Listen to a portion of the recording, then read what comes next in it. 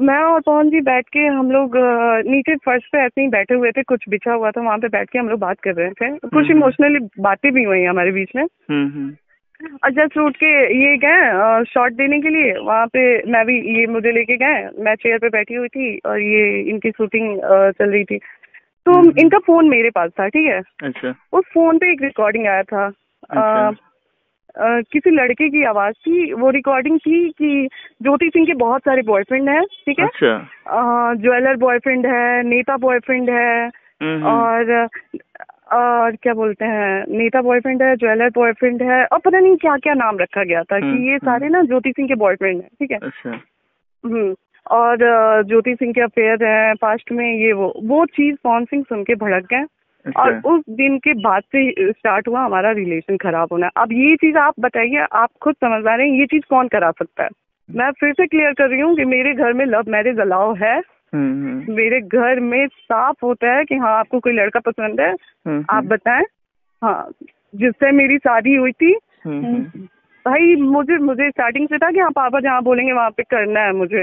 अगर हम्म, मुझे हम्म। कोई लड़का पसंद होता तो बिल्कुल बिल्कुल मैं उसी लड़के से शादी करती। और मेरे घर में हम्म। मुझे नहीं लग रहा है कि इस चीज़ को आ, मतलब हम्म, मना हम्म, किया। जाता क्योंकि मेरे घर में अलाव है क्या ज्योति सिंह का बॉयफ्रेंड है क्या उनका बॉयफ्रेंड होना उनका एक पास्ट होना वजह था पवन सिंह और ज्योति सिंह के रिश्ते के खराब होने का ऐसा सवाल आजकल हर किसी के मन में चल रहा है। इस पर ज्योति सिंह ने एक बड़ा बयान दिया है।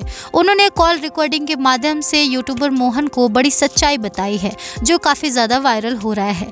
ज्योति सिंह ने कहा है कि मेरा कोई बॉयफ्रेंड था ही नहीं, वरना अगर मेरा कोई बॉयफ्रेंड होता तो मेरे घर में सब लोग बहुत ओपन माइंडेड हैं। लव मैरिज अलाउड भी है। अगर मेरा कोई बॉयफ्रेंड होता, मैं किसी से प्यार करती तो मैं यकीनन उसी से शादी करती, मैं किसी और से शादी नहीं करती और मेरे फैमिली भी मेरा सपोर्ट करती, मेरा साथ देती। ऐसा नहीं है कि वो लोग मुझे मना करते, मुझे रोकते। तो पहली बात मैं क्लियर कर देती हूँ कि अगर मेरा कोई पास्ट रहा होता तो वो आज मेरा प्रेजेंट भी होता और मेरा फ्यूचर भी होता। मैं पवन सिंह से शादी करने नहीं आती।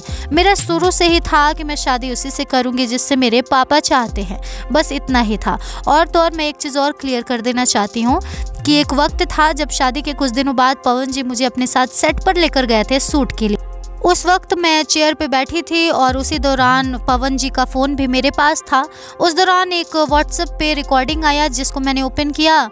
तो उसमें था कि ज्योति सिंह के बहुत सारे बॉयफ्रेंड हैं, ज्योति सिंह के अफेयर्स हैं, ज्योति सिंह का इससे चक्कर चलता है, उससे चक्कर चलता है, फलाना ढिमकाना ऐसा ऐसा बहुत सारा आया था। हालाँकि मुझे सच्चाई पता है कि वो किसने करवाया था रिकॉर्डिंग किससे भिजवाया गया था क्यों भिजवाया गया था, लेकिन मैं नाम नहीं लूँगी, वरना कंट्रोवर्सी हो जाएगी। लेकिन हाँ यही सुन के पवन सिंह भड़क गए थे, और उसी के बाद से हमारा रिश्ता ख़राब होना चालू हो गया, क्योंकि बात बात पे वो उसी रिकॉर्डिंग की बात करते थे, और मुझे टॉर्चर करते थे, मुझे परेशान करते थे, मुझे रुलाते थे, और अगर वो किसी लड़की से अफेयर करते थे और मैं उनको रोकती थी या बोलती थी तो उस पर वो कहते थे कि तुम अपना भूल गई, तुम्हें नहीं याद, तुम कौन सी दूध की धुली हो। तो इस तरह की बातें वो मुझे कहा करते थे। तो तभी से हमारा रिलेशन ब्रेक होना चालू हो गया और मैंने बहुत बार पवन जी से कहा भी कि अगर आपको डाउट है मेरे कैरेक्टर पे या मुझ पर तो आप तो एक इतने बड़े स्टार हैं। आपके लिए ज्योति सिंह के बारे में कुछ भी पता लगाना कितना ही मुश्किल होगा। दो मिनट का काम है। आप पता कर लीजिए। लेकिन पवन जी ने कहा कि नहीं, मेरी इज़्ज़त खराब हो जाएगी अगर मैं ऐसा कुछ करूँगा तो।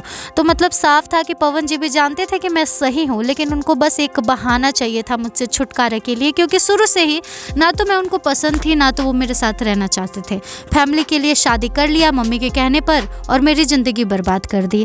पवन जी ने एक बार भी कोशिश नहीं की, ये जानने की कि जो रिकॉर्डिंग आया है, वो सच है, कितना सच है, कोई जाने की कोशिश नहीं की। और तो और उसके वजह से मुझे सज़ा देना शुरू कर दिया। मुझे इग्नोर करने लगे, मुझे परेशान करने लगे, मुझे टॉर्चर करने लगे, बहुत सारी गंदी गंदी बातें, गालियाँ, मारपीट भी करने लगे। मैं आखिर क्या क्या मीडिया में बोलूँ, मैं क्या क्या बताऊँ? बहुत सारी ऐसी चीज़ें हैं जो हुई, लेकिन बताने लायक नहीं है और मैं बताना भी नहीं चाहती हूँ।